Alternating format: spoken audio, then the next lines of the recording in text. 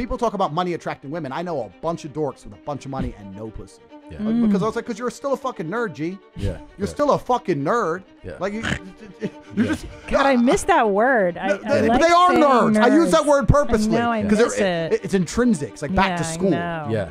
You're a nerd. They're You're a fucking nerds, I dude. was a nerd. I am a nerd. Yeah. Yeah. No, but you are, and, and money amplifies. I say this all the time. If you see a dude get out of a Lambo, and yeah, fucking nerd. If you see a dude get out of a Lambo and he's a skinny little guy with glasses, you're like, oh, tech dork, total, total nerd. If you see a guy, if you see a guy get out of a Lambo and he's big, tall, strong, cobra tattoo, big G, you're like, okay, mafia boss. It amplifies. Yes. The Lambo amplifies. It doesn't change Yeah. who you are. It And money's the same. Money's an amplifier. Well,